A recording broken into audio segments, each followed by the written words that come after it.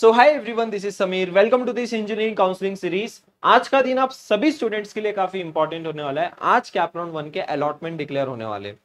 मुझे पता है बहुत सारे स्टूडेंट्स बहुत ज़्यादा एक्साइटेड है और ऐसे भी कुछ स्टूडेंट्स है जो बहुत ज़्यादा नर्वस है। मुझे कमेंट सेक्शन में बताओ आप कैसा फील कर रहे हो? ये अलॉटमेंट वाले दिन की जो फीलिंग है ना, वो बहुत ही गजब होती है। मेरे टाइम का भी मुझे पता है, जब मेरा अलॉटमेंट आया था, वो रात के 12 बजे अलॉटमेंट आया था। टाइमिंग दिया था सात आठ बजे तक डिक्लेयर हो जाएँगे, लेकिन रात के बारह बजे मैंने अपना अलॉटमेंट चेक किया था और सेकेंड अलॉटमेंट तो सुबह के छह बजे अलॉटमेंट आया था। यहाँ पे ना ये जैसे जैसे आपका टाइम जाता जाएगा ना वैसे वैसे आपकी जो नर्वसनेस है एक्साइटमेंट जो है वो बढ़ते जाएगी। आई नो आप सभी स्टूडेंट्स को यही जानना है कि अलॉटमेंट आपका कितने बजे तक आ सकता है। उससे पहले भी इंपॉर्टेंट बहुत सारी चीज़ें हैं। अलॉटमेंट आने के बाद भी आप सभी स्टूडेंट्स को क्या क्या इंपॉर्टेंट चीज़ों पे ध्यान देना है, उसके ऊपर मैं आपको बताने वाला हूँ। और देखो स्टूडेंट सबसे पहले मैं आपको वीडियो प्रोवाइड कर दूँगा। जैसे भी अलॉटमेंट डिक्लेयर हो जाएँगे, आप सभी स्टूडेंट्स को मेरे चैनल पे वीडियो 101 परसेंट मिल जाएगा कि आपके अलॉटमेंट डिक्लेयर हो चुके हैं एंड आप जाके चेकआउट कर सकते हो लिंक वगैरह, सब कुछ मैं प्रोवाइड कर दूँगा। बस आपको चैनल को सब्सक्राइब करके रखना है। कभी भी आपका अलॉटमेंट आए, चाहे रात के 10 बजे आए 11 बजे आए 1 बजे आए 2 बजे आए, कभी भी आए, आप सभी स्टूडेंट्स के लिए मैं वीडियो प्रोवाइड कर दूँगा। तो आप मेक श्योर sure करो कि आपने चैनल को सब्सक्राइब करके रखा है ताकि आपसे कुछ भी अपडेट जो है मिस ना हो। ठीक है, सारी अपडेट्स हम लोग जो है टाइम टू टाइम देते हैं। व्हाट्सएप ग्रुप पे भी आप सभी स्टूडेंट्स को अपडेट्स देते हैं। जिसने भी अभी तक नहीं ज्वाइन किया होगा, वो व्हाट्सएप ग्रुप ज्वाइन कर सकता है। डिस्क्रिप्शन बॉक्स में आपको लिंक वगैरह मिल जाएगी। ठीक है चैनल को सब्सक्राइब करके रख देना, आपको सारी अपडेट्स मिल जाएगी।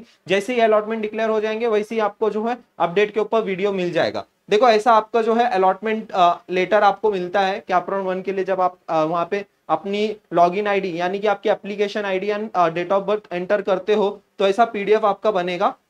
तो इसमें आपको ना बहुत सारी चीज़ें चेक करनी है सबसे पहले। तो मैंने फॉर एन एग्ज़ाम्पल यहाँ पे दो तीन लोगों का पीडीएफ लिया हुआ है। तो आपको क्या क्या चेक करना है वो मैं आपको बता देता हूँ। थोड़ा सा इंपॉर्टेंट है प्लीज़ थोड़ा वीडियो को एंड तक देखो। क्योंकि आपका जो अलॉटमेंट के बाद का प्रोसेस मैं सब कुछ इस वीडियो में ही एक्सप्लेन करने वाला हूँ। और काफ़ी अच्छे से एक्सप्लेन कर दूँगा betterment self freeze seat acceptance fees सारी चीज़ें कवर करते स्टेप बाय स्टेप ठीक है, ज़्यादा लंबा वीडियो में नहीं करूँगा, आठ से दस मिनट में हम लोग कवर कर लेंगे। तो एक बार ये सारी जो जो डिटेल्स है, इसके ऊपर देखो आप थोड़ा सा ध्यान दो। ये कैटेगरी फॉर एडमिशन जो है, ये इंपॉर्टेंट है। और आपको जो कोर्स आपको जो यहाँ बेनिफिट टेकन ठीक है, यहाँ पे इसने जो है टीएफडब्ल्यूएस के थ्रू इसको एडमिशन मिला है। तो यहाँ पे जो कैटेगरी फॉर एडमिशन है, उसके कैटेगरी की सीट आपको अलॉट होनी चाहिए, तभी आपको बेनिफिट मिलता है यहाँ पे।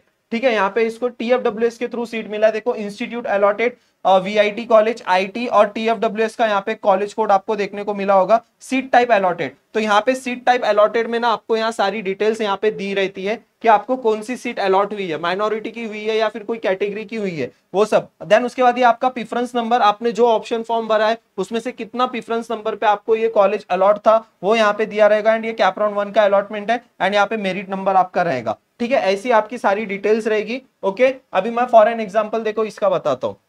अब यहाँ पे कैटेगरी फॉर एडमिशन देखो ओबीसी है, ठीक है? अब यहाँ पे ओबीसी होने के बाद देखो सीट टाइप अलॉटेड तो ये बहुत इंपॉर्टेंट है, ठीक है? सीट टाइप अलॉटेड अगर आप देखोगे तो यहाँ पे देखो सीट टाइप अलॉटेड में जी ओबीसी लिखा हुआ है स्टेट लेवल जनरल ओबीसी ठीक है? यहाँ पे देखो कैटेगरी फॉर एडमिशन जो था, वो ओबीसी था एंड उसको भी वही, इसको भी वीआईटी में क्या मिला है? Computer engineering category benefit taken category यानी कि ओबीसी के थ्रू यहाँ पे इसको एडमिशन मिला है। देन यहाँ पे मेरिट नंबर दिया है एंड परसेंटाइल दिए हुए, और ये कैप्रॉन टू का अलॉटमेंट है, और प्रिफरेंस नंबर देखो यहाँ पे सिक्सटीन दिया गया है। तो ऐसा आपको जो है अलॉटमेंट लेटर मिलने वाला है, ठीक है? यहाँ पे और एक दिखा देता हूँ, समझो ये कैटेगरी फॉर एडमिशन ओपन है तो सीट टाइप अलॉटेड जो है आपका G open other than home university general open ऐसे लिख के आएगा। और यहाँ पे जो अलॉटमेंट आया इंस्टीट्यूट अलॉटेड वो लिख के आएगा। देन कैप्राउंड वन का है और प्रिफरेंस नंबर देखो 162 अलॉट हुआ है और यहाँ पे जनरल मेरिट रहेगा। ठीक है? अभी उसके बाद देखो सीट एक्सेप्टेंस वाला एक चीज़ मैं आपको बता देता हूँ। ठीक है? ये ये वाला इंपॉर्टेंट है, ये देखो। और एक जो स्टूडेंट्स ईडब्ल्यूएस वाले इस कैटेगरी वाले स्टूडेंट्स है, वो देख लो, यहाँ पे अप्लाइड फॉर ईडब्ल्यूएस अगर यस है तो आपका जो बेनिफिट टेकन है, वो ईडब्ल्यूएस ही आएगा। और सीट टाइप अलॉटेड में जो है, वो ईडब्ल्यूएस ही आने वाला है आपका। ठीक है प्रिफरेंस नंबर यहाँ पे दिया रहेगा। कौन सा प्रिफरेंस नंबर आपका कॉलेज अलॉट हुआ है? एंड कैटेगरी फॉर एडमिशन देख लो, यहाँ पे ओपन है। ठीक है? तो अगर आपने अप्लाइड फॉर ईडब्ल्यूएस यस किया है तो आपको बेनिफिट टेकन ईडब्ल्यूएस ही मिलने वाला है। तो आपका कुछ जो है पीडीएफ ऐसा देखने को मिलेगा institute allotted course allotted choice code allotted benefit taken seat type allotted preference number CAP round कौन सा था वो merit number M S T C D के परसेंटाइल अभी इसके बाद आता है ना सीट एक्सेप्टेंस अब सीट एक्सेप्टेंस में देखो, आपको ना यहाँ पे एक दो आपको ऑप्शंस मिलते सेल्फ फ्रीज का और बेटरमेंट का वो सारी चीज़ें हम लोग देखेंगे बट ये इंपॉर्टेंट पीडीएफ देख लो। ठीक है यहाँ पे अभी आपको जब आ, आपको ना सीट एक्सेप्टेंस की फ़ीस पे करनी है। अगर आप कैपराउंड टू के लिए भी जा रहे हो और कैपराउंड टू में अगर बेटरमेंट चाहिए तो सीट एक्सेप्टेंस की फ़ीस आपको पे करनी होती है। अभी यहाँ पे देखो मैं ये फाइनल अलॉटमेंट दिखा रहा हूँ।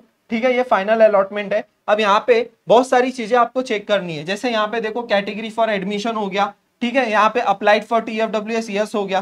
देन आपकी ये सारी डिटेल्स रहती है। फिर उसके बाद जो है, यहाँ पे आपको ना पूरे तीनों कैप राउंड के ना यहाँ पे आपको डिटेल्स रहती है। अभी यहाँ पे ध्यान से देखो provisional allotment details CAP round one का जो अलॉटमेंट होता है, उसको प्रोविजनल अलॉटमेंट डिटेल बोलते हैं।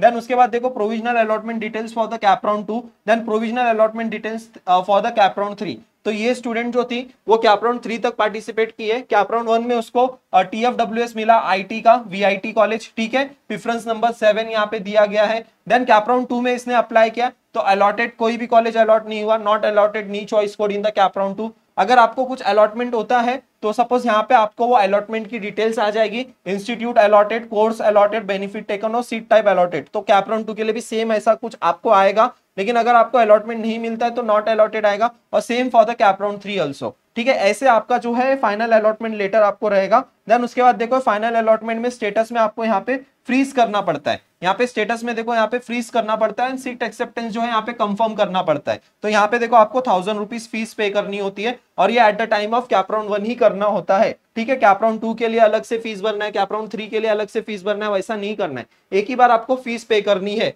ओके ठीक है I hope this point is clear to everyone बहुत सारे इंपॉर्टेंट वीडियोस में लेके आ रहा हूँ। आप सभी स्टूडेंट्स के लिए इवन कैपराउंड टू के लिए कैसे फॉर्म भरना है, जिनको अच्छा कॉलेज अलॉट नहीं हुआ है, वो सारी चीज़ें हम लोग डिस्कस करने वाले आप बस चैनल को सब्सक्राइब करके रखो। सारे इंपॉर्टेंट वीडियोस आपको चैनल पे देखने को मिलेंगे। जो भी स्टूडेंट्स को कैपराउंड वन में अलॉटमेंट मिलेगा, उनको ये दो ऑप्शन मिलने वाले हैं, ठीक है? ये दो ऑप्शन एक सेल्फ फ्रीज का ऑप्शन रहेगा, एक बेटरमेंट का ऑप्शन रहेगा। जो भी स्टूडेंट्स को एडमिशन लेना है, वो सिंपली जो है सेल्फ फ्रीज करेंगे, हज़ार रुपया पे करेंगे एंड जाके एडमिशन ले लेंगे। अगर जिसको कैपराउंड टू के लिए जाना है और सजेशन सब स्टूडेंट्स को यही सजेशन होता है कि आप बेटरमेंट के लिए जाओ, क्योंकि आपका जो सीट है वो वैसे के वैसे ही रहेगा, ठीक है? आप ये सजेस्टेड है कि आप बेटरमेंट के लिए ही जाना सारे स्टूडेंट्स हज़ार रुपए पे कर देना सीट एक्सेप्टेंस फ़ीस पे करना और कैपराउंड के लिए कैपराउंड टू कैपराउंड थ्री के लिए पार्टिसिपेट करो। इवन अगर आपको डिज़ायर कॉलेज अलाउट हुआ है, तभी भी डिज़ायर कॉलेज में भी अगर ब्रांच अपग्रेडेशन होता है तो उसके लिए ट्राई करो, ठीक है? देन उसके बाद जो स्टूडेंट्स को कैपराउंड वन में कॉलेज अलॉट नहीं हुआ, उनका क्या होगा भैया? आप डायरेक्टली कैपराउंड टू के लिए एलिजिबल रहोगे, ठीक है? आपको कोई सीट एक्सेप्टेंस की फ़ीस पे करने की ज़रूरत नहीं है कैपराउंड टू में।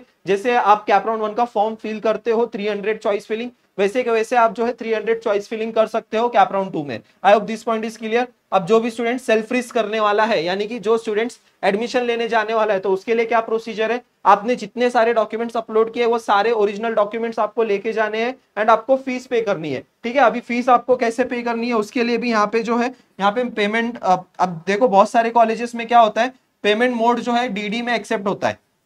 अब जो भी स्टूडेंट्स एडमिशन लेने जा रहे हैं वहाँ पे कोऑर्डिनेटर का आपको नंबर मिलता है उनको कॉल करके आपको एग्जैक्ट अमाउंट पूछना है। और जाके आपको डीडी बनवा के लेनी है और जाके कॉलेज में एडमिशन लेना है। इसका प्रोसेस जो है, देखो मैं आपको प्रोसेस बता देता हूँ। 16 अगस्त से लेके 18 अगस्त तक की टाइम है आपके पास 16 से अगस्त तक 16 से लेके 18 अगर आपको बेटरमेंट करना भी है तो यही टाइम है फ्रीज करना है तो भी यही टाइम है। तो आप बहुत सारे कॉलेजेस में डीडी और बहुत सारे कॉलेज में कैश एक्सेप्ट नहीं होता है, ठीक है? मैंने यहाँ पे कैश लिखा है कुछ कुछ कॉलेजेस में होता है बट मैक्सिमम कॉलेजेस में नहीं होता है। और जो टॉप कॉलेजेस है, वहाँ पे सिर्फ़ और सिर्फ़ डीडी का ही पेमेंट वहाँ पे मोड अवेलेबल होता है। तो ऑनलाइन कई कई कॉलेजेस में चलता है। ठीक है, ये तीनों मोड है, लेकिन सबसे प्रिफरेबल है कि ये डीडी जो है वो सब में चलता है। ठीक है तो डीडी बना के लेनी है, जो भी स्टूडेंट्स को एडमिशन लेना है। एंड जो स्टूडेंट्स को बेटरमेंट के लिए जाना है, एक ये भी डाउट आ रहा था कि, भैया, हम लोग कैपराउंड टू में फॉर्म चेंज कर सकते हैं कि नहीं कर सकते? यस ऑब्वियसली आप सारा जो है, जितने प्रिफरेंसेस आपने भरे थे, वो सब कुछ आप चेंज कर सकते हो। आप जो है एडिट कर सकते हो चेंज कर सकते हो ऐड कर सकते हो। सारे के सारे प्रिफरेंसेस आप कैपराउंड टू में ऐड कर सकते हो। सपोज़ आपको जो है, अभी वीआईटी में कंप्यूटर इंजीनियरिंग मिल गया। तो आप पीआईसीटी में अभी वहाँ पे क्या होगा कि वीआईटी का कंप्यूटर इंजीनियरिंग के ऊपर के जितने प्रिफरेंसेस है आपको वो कैपराउंड टू में फिल करने तो जब आप कैपराउंड टू का फॉर्म सबमिट करोगे ना तो ऑटोमेटिकली जो आपको अलॉटेड आया है अलॉटेड सीट जो है आपकी, वो ऑटोमेटिकली सबसे लास्ट आएगी। सपोज़ वो सेवन नंबर प्रिफरेंसेस आया, अब वो वन से लेके सिक्स प्रिफरेंसेस फिल करेगी वो स्टूडेंट तो सेवेंथ नंबर पे जो कॉलेज अलॉट हुआ है, वो वैसे के वैसे आने वाला है। ठीक है कैप राउंड टू में आप 299 कॉलेजेस सिलेक्ट कर सकते हो। 300 चॉइस फिलिंग का यहाँ पे रूल है, लेकिन आप 299 299 क्यों? क्योंकि आपको एक कॉलेज ऑलरेडी अलॉट हो चुका है। तो आपका 300 जो 300 आपका जो चॉइस फिलिंग होगा दैट इज़ अलॉटेड कॉलेज ठीक है आफ्टर अलॉटमेंट आपको 16 अगस्त से लेकिन 18 अगस्त तक जो है आपको सीट एक्सेप्टेंस का प्रोसेस कंप्लीट करना है। सीट एक्सेप्टेंस के प्रोसेस में आता है बेटरमेंट और सेल्फ रिस्क जो भी स्टूडेंट्स को एडमिशन लेना है, वो सेल्फ रिस्क करेंगे। जो स्टूडेंट्स को बेटरमेंट के लिए जाना है, वो बेटरमेंट करेंगे ओके ठीक है? ये सारी चीज़ें क्लियर हो गई। और एक इंपॉर्टेंट चीज़ यहाँ पे ध्यान से देखो, बहुत सारे स्टूडेंट्स क्या करते हैं कि कैप्राउंड टू के फॉर्म फिलिंग से पहले आपको ना वैकेंसी सीट मैट्रिक्स आपको मिल जाएगा कि कौन से कॉलेज में कितनी सीट वैकेंट है। तो बहुत सारे स्टूडेंट्स क्या करते हैं कि मेरी कैटेगरी की सीट उस कॉलेज में डीवाई पाटिल में एससी कैटेगरी की या फिर ओबीसी कैटेगरी की सीट वैकेंट है या नहीं है, वो देखते हैं। अगर नहीं है वैकेंट वहाँ पे ज़ीरो लिख के आ रहा है तो डीवाई पाटिल को अप्लाई करेंगे ही नहीं। ये गलती मत करना बिल्कुल भी। सपोज़ डीवाई पाटिल में हंड्रेड सीट्स है, वो हंड्रेड के हंड्रेड सीट्स अलॉट हो जाते हैं कैप्रोन वन में। अब वो हंड्रेड के हंड्रेड बच्चे कैप्रॉन वन में ही जाके एडमिशन नहीं लेने वाले। अब डीवाई पाटिल वाले स्टूडेंट्स क्या करेंगे, जिनको अलॉटमेंट मिला है, वो ट्राई करेंगे और बेटरमेंट के लिए। वो जाएँगे और पीआईसीटी वीआईटी पीसीसीओई ऐसे बेटरमेंट कॉलेजेस के लिए ट्राई करेंगे और इनकेस उनका बेटरमेंट हो गया, वहाँ ऑटोमेटिकली एक सीट वैकेंट हो जाती है और नीचे के जो कॉलेजेस में जिनको अलॉटमेंट मिला, वहाँ पे उनको अलॉटमेंट बेटरमेंट हो जाता है। तो ये प्रोसेस होता है। तो ये वैकेंसी सीट मैट्रिक्स को आप कभी भी फॉलो मत करना and always go for the betterment always आप कैप राउंड थ्री तक जाओगे तो डेफिनेटली आपको बहुत अच्छा कॉलेज अलॉट मिलने वाला है। ओके देन अब टाइमिंग की मैं बात करूँ तो टाइमिंग देखो आप यहाँ पे जो एक्सपेक्टेड टाइमिंग है आपका अलॉटमेंट का that is 5 PM to 7 PM आठ बजे तक तो आपका अलॉटमेंट आ जाना चाहिए। देखो एक चीज़ मैं अभी भी आपको बता रहा हूँ, जब भी आपका अलॉटमेंट आया,